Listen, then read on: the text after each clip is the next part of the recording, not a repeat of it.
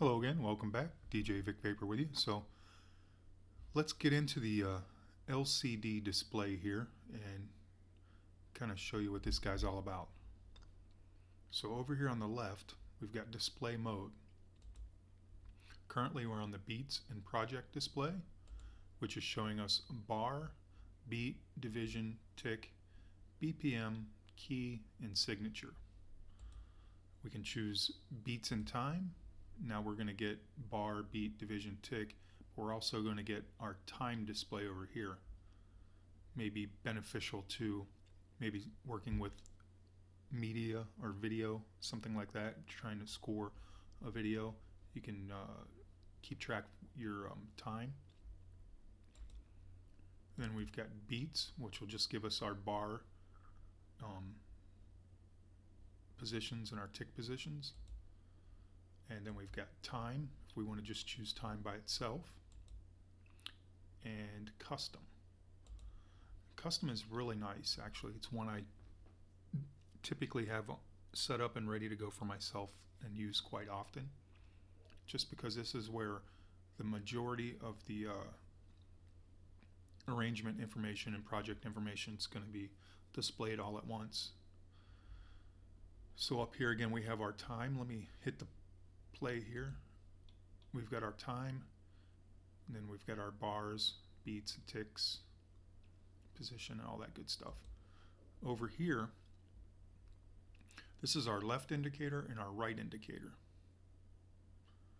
So, and by the way, I just want to, you can actually, when you're in here in these areas, if you want, you can just click, hold, and you can move your playhead just by changing the number right there. So a nice little feature. But now back to this side. We've got our left indicator and our right indicator, and that is displaying the beginning and the end of this area right here. This guy. See how it's changing to the right here, and again I can I can just click here, type in or drag if I want. And I can do that for either side. So that's the left and right indicator, this guy right here. Now you've got over here your tempo, project tempo, and this is the project end button. So this is where you want the uh, project to end. You can drag it down. You can see if I come all the way down to two, it's just going to highlight the first two bars. And if we hit play, well, give it a second to think about playing for us, I guess.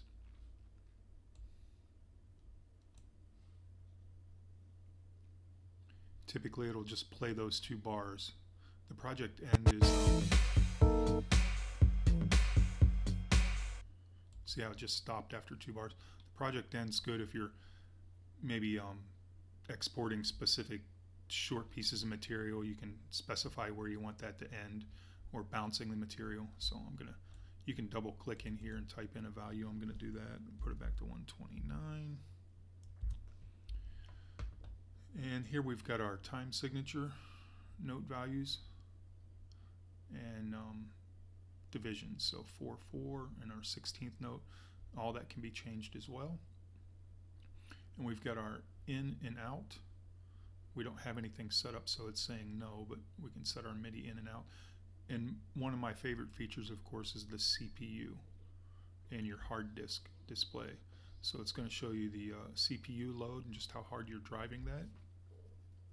It's important as projects get more tracks and uh, more involved. Obviously, you want to keep an eye on your CPU load. And then additionally, you want to keep an, uh, eye, uh, an eye on your hard disk load as well.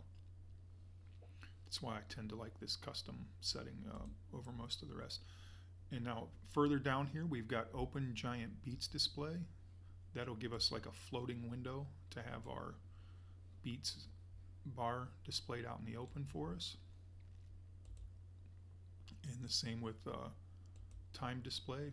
Again, if you're working with video or some sort of media that you need to score in a specific manner of time, that's nice to have available in a nice big visual there. I hit play.